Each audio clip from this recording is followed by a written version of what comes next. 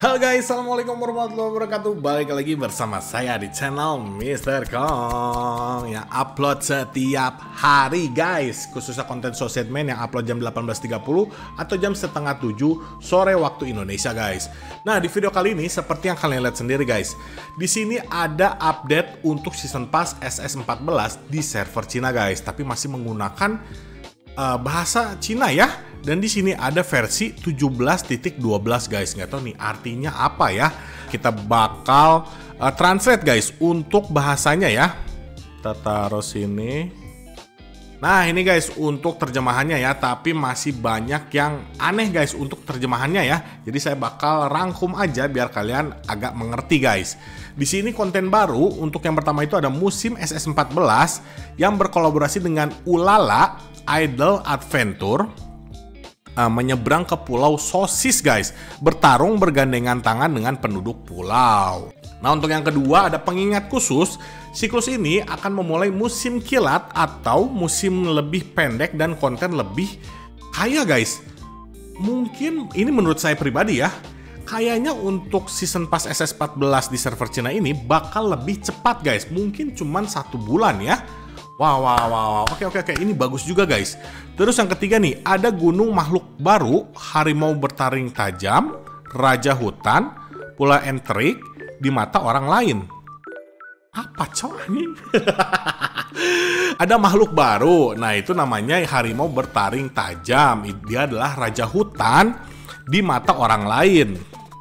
Oh, ini mungkin kendaraan baru ya Nah, yang kemarin yang kita mau tebak-tebakan itu adalah harimau guys, benar ya, yang warna kuning sama warna biru guys. Ternyata itu adalah uh, kendaraan baru ya. Oke, untuk yang keempat, Pulau kelahiran tautan musim. Selama musim, pulau kelahiran akan diganti dengan peta Urala tak berujung. Kayaknya map baru deh. Atau Pulau Kitty ya. Mungkin diganti namanya jadi Urala tak berujung guys. Mungkin ya. Oke, untuk yang kelima di sini ada ganti istilah karbon liar dengan hewan peliharaan lucu ulala di musimnya. Apa nih maksudnya? Hewan peliharaan.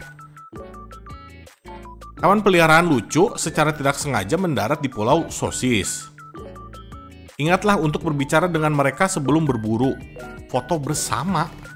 Apa maksudnya anjir? Emang ada mode ini guys, mode pet? Wah, gila.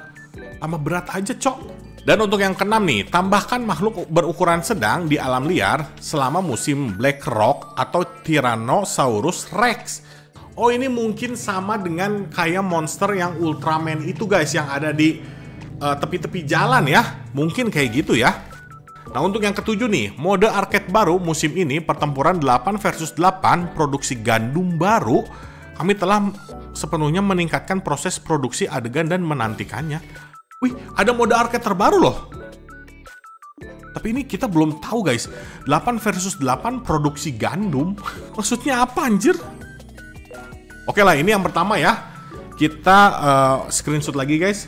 Kita translate lagi untuk yang kedua. Ini masih bingung cok ininya bahasanya anjir. Nah untuk yang ke-8 ini ada mode pembuatan ruang baru. Oh mungkin ini custom room ya. Apakah masih sedih karena blok bangunan yang dibangun di lapangan tidak dapat disimpan? Gaya ini menyediakan ruang kreatif independen untuk sosis dan Anda dapat menggunakan lebih banyak bentuk balok bangunan di ruangan Anda sendiri. Maksudnya apa anjir?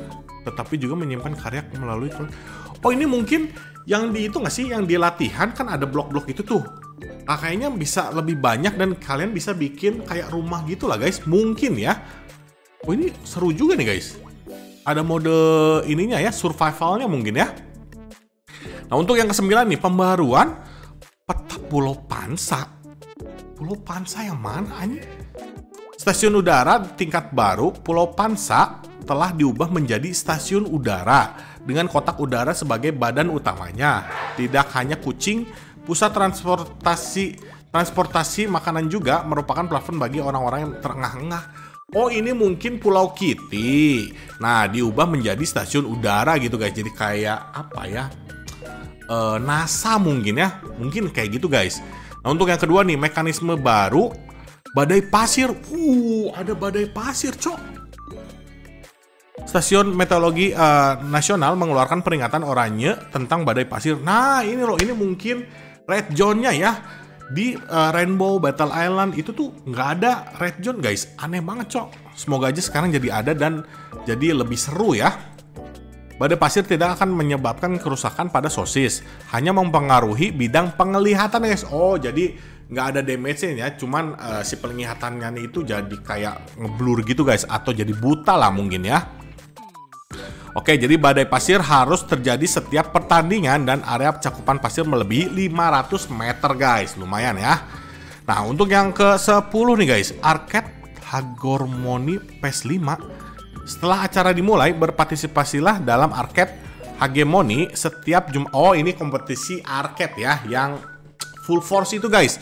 Setiap Jumat sampai dengan Minggu ya. Kalau di Indonesia itu berarti dari Kamis jam 11 malam sampai dengan Minggu jam 11 malam guys. Kalian jangan lupa ya untuk uh, ikutan kompetisi arcade-nya guys karena kalian bisa tukarkan dengan hadiah-hadiah menarik ya. Oke, kita lanjut lagi. Optimalisasi atau penyesuaian guys. Oke, yang pertama itu ada kinerja dan peningkatan fungsi anti plugin. Ini buat anti cheat ya. Jadi kemarin itu ada beberapa yang masih mengatakan masih ada cheat guys. Tapi nah namanya game online pasti ada cheat guys dan menurut saya game Society Man ini lebih cepat daripada game-game yang lain ya untuk mengatasi cheat guys. Menurut saya pribadi ini ya. Oke, terus yang kedua nih, optimalisasi kinerja skill kartu tanda penduduk Dewa Matahari. Hah? Dewa Matahari.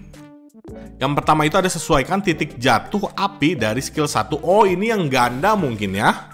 Area tengah sekarang juga dapat menghasilkan api untuk menyebabkan kerusakan. Oke, terus yang kedua nih, sesuaikan tampilan UI keterampilan dari skill Tupan Star. Apaan Tupan Star? Mungkin yang ke atas ya guys ya? Mungkin guys. Gak tau lah anjir. Jadi untuk skill ganda di uh, buff ya. Nah, untuk yang berikutnya ini ada uh, kartu identitas Catwoman guys atau Miao ya.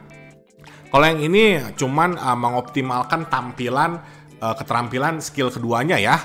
Dan untuk yang nomor 4 itu ada Legend Card uh, Serigala ya. Nah, yang skill pertama nih mengurangi bonus ketinggian lompat tambahan 100% menjadi 20% guys.